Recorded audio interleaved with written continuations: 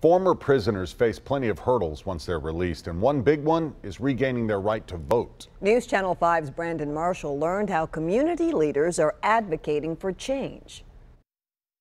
No justice, no peace.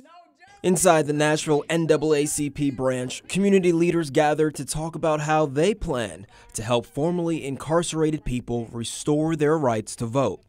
One person joining the efforts is Larry Turnley. I just turned 47, so I was 46 when the first time I ever voted. In 1996, Turnley was sentenced to life in prison for a drug conviction. But after a law change, he was let out after serving 24 years.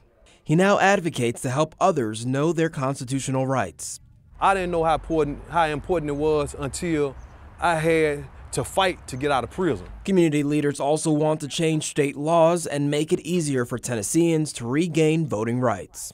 The law in Tennessee disenfranchises over 421,000 people across the state.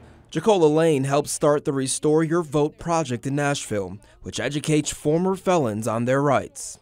The law denies 8.2% of the entire statewide voting age population to the right to vote but that includes 21% of black voting age population. Senator Brenda Gilmore calls the restoration process a struggle for minorities, the elderly, and women.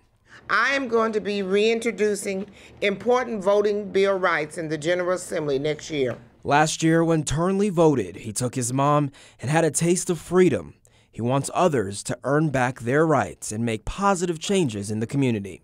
In Nashville, Brandon Marshall, News Channel 5. Thanks, Brandon. If you or someone you know wants to regain the right to vote, we have resources on where to start on newschannel5.com.